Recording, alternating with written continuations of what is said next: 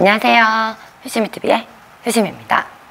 어, 그 질문 중에 어떤 라켓과 러버를 사용하냐 이런 질문이 있어서 제가 쓰는 라켓을 알려드리도록 하겠습니다.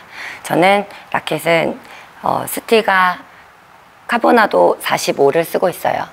어, 스티가 라켓이고요. 카보나도 45. 어, 이거 카보나도를 쓰게 된 이유는 어, 제가 선수 때부터 계속 그 카본의 느낌이 많이 안 들어간 그 그렇다고 합판도 아닌 그 약간 타격 할 때 공이 맞을 때 울림을 내 손에서 이렇게 맞는 그 느낌을 되게 중요시하면서 치고 있거든요. 저는 이제 공을 파워로 상대를 뚫겠다 이런 작전보다는 나의 감각으로 내가 최대한 미스 없이 요리조리 탁구 공을 요리해서 치는 그런 느낌을 선호하고 있어서 공이 임팩트 되는 순간에 내 손의 손맛에 되게 중요한 네 손맛이 되게 중요한 선수였어요. 네 그래서 그때는 이제, 스, 이제 이런저런 라켓을 되게 많이 사용해 보는데 해보다가 음 저기 어, 스티가에 클리퍼 CR을 썼었어요. 그 클리퍼 CR 속에 이제 구멍이 이렇게 뚫려 있는 그 나무 쪽에 그거를 썼었는데 그걸로 이제 선수를 계속했어요. 그 라켓은 비싸지도 않아요. 다른 이제 그 비싼 이제 버터플라이 라켓보다 비싸지도 않은데 어, 한 그때 당시 한 8만 원 정도 되는 라켓으로 계속 한 7, 8년을 썼던 것 같아요. 마지막 은퇴할 때까지 그 적당한 그 앞으로 나감과 손맛, 울림이 좋아가지고 그 라켓을 썼고 그리고 이제 은퇴 이후에 또 이제 이런저런 라켓을 많이 이제 스폰 받아서 써보다가 정착한 게 이 카보나도인데요.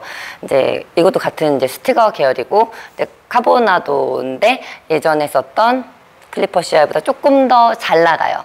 잘 나가는데 되게 잘 나가는데 너무 그냥 나가는 라켓이 아니고 손의 맛 그러니까 임팩트 될 때 소리가 되게 커요. 그러니까 잘 맞았을 때 나는 소리가 엄청 커요. 그래서 아, 내가 잘 맞았다 안 맞았다가 정확하게 구분되는 라켓이라고 볼 수 있고 게다가 이제 그 카본이 막 들어간 그런 라켓보다 이렇게 이렇게 막 그냥 맞고 떨어지는 속도가 막 되게 현저히 막 빠르거나 그러지 않기 때문에 손에서 느낌이 좀 커요. 그러니까 손맛이 있는 그런 느낌에서 적당히 나간다 이런 이유로 이 카보나도 45를 쓰고 있고요. 중국에서 이제 중국 선수들도 많이 사용하고 있는 라켓이에요.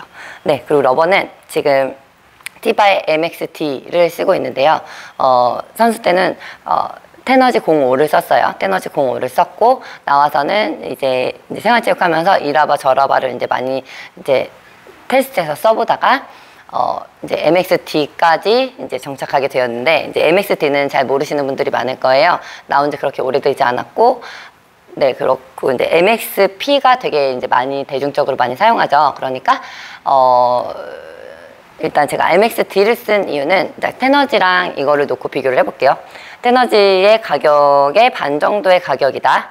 첫 번째. 그리고 두 번째, 어, 테너지를 쓰다가 이걸 써보고 이걸 쓰다 테너지 공호 쓰고 또 다시 이걸 이렇게 왔다 갔다 하면서 두 번을 써봤어요. 그런데 그 조금 더 테너지를 잡았을 때 그 라바 자체의 그 가벼운 느낌이 있었어요. 어, 그러니까 테너지가 이제 모든 러버의 기준이 돼서 그거랑 이거랑 비교를 했을 때라고 말을 많이 하잖아요.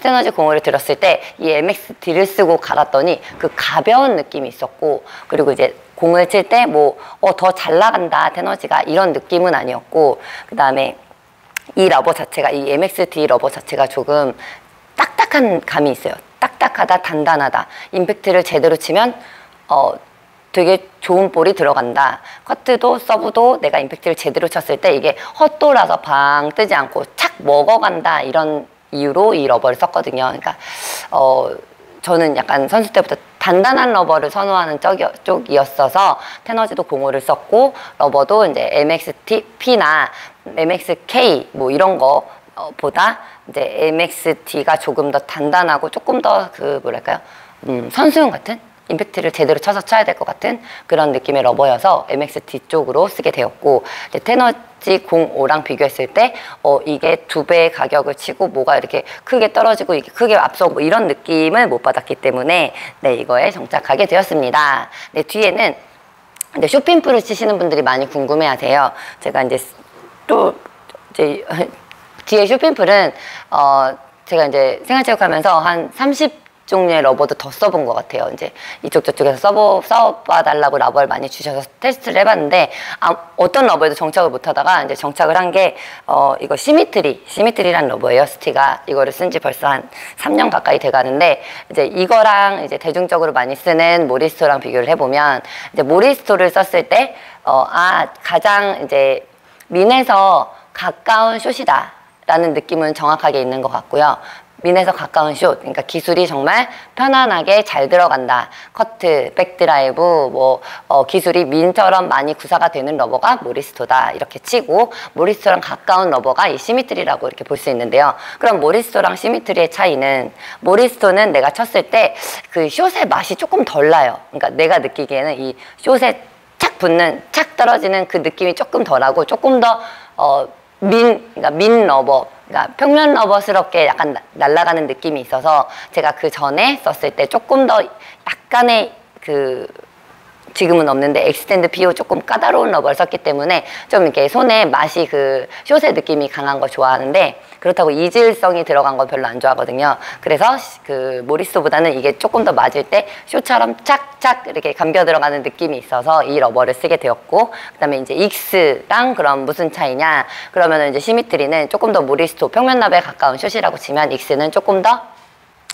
어, long에 가까운 short이죠. 네. 그래서 이제 기술을 쓸 때 제가 쓰는 러버는 커트도 어, 많이 줬을 때 이제 평면 러버를 10을 주면 얘는 9 정도까지 줄 수 있고 드라이브도 스핀을 거기서 10까지 줄 수 있으면 얘도 한 7, 8 정도까지 줄 수 있고 그러니까 평면 러버스럽게 기술을 구사 할수 있는 쇼핑풀이다 이렇게 보시면 되고요. 익스는 어, 커트를 먹는데 어, 좀 이렇게 커트 양이 떨어지고 드라이브를 걸면 드라이브가 잘 안 걸리는 조금 더 long에 가까운 short이다 이렇게 생각하시면 돼요.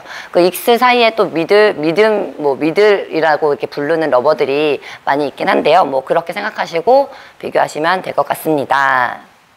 네, 오늘 제가 쓰는 라켓과 러버 알려드렸어요. 그럼 안녕.